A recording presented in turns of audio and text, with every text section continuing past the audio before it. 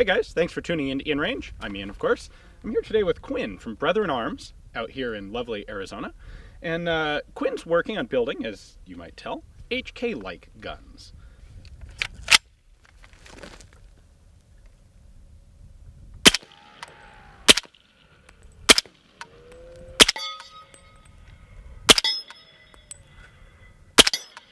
All right, Quinn, so you brought this out at the range the other day and you brought it out of the pack and I go, oh, an MP5, because I knew you were working on those and doing really nice work with those. And if you look at the welds alone, that's one indication of that it's not a German gun, right? No, I mean, seriously.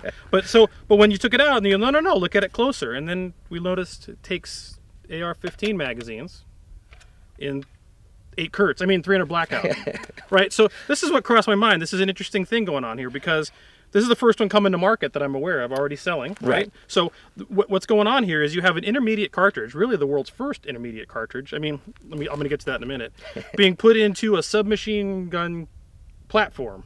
So is this an assault rifle? Is it a submachine gun? Is it a PDW? I don't know. When when I saw this, immediately I, I went, "Wow, we got to need to do a video on this because it blurs all those lines." What do you think?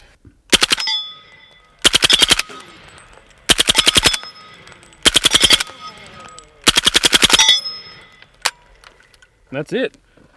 Very controllable. Obviously quiet enough without ears. Easy mag release.